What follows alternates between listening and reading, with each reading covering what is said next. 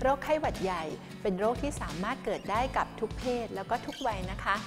สำหรับในประเทศไทยนั้น โรคไข้หวัดใหญ่นี้สามารถพบได้ตลอดปีค่ะ แต่จะพบมากที่สุดในช่วงหน้าฝนค่ะ ดังนั้นมาตรการที่ดีที่สุดในการป้องกันโรคไข้หวัดใหญ่ ก็คือการฉีดวัคซีนค่ะ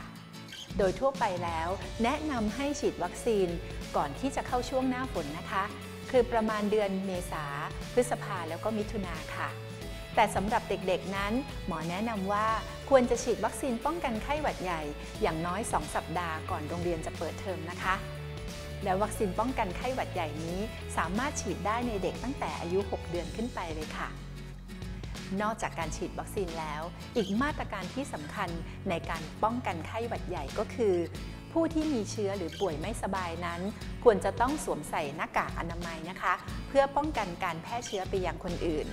รวมทั้งเน้นเรื่องของการล้างมือค่ะ เพียงเท่านี้ทุกคนก็จะสามารถปลอดภัยจากโรคไข้หวัดใหญ่ได้ค่ะ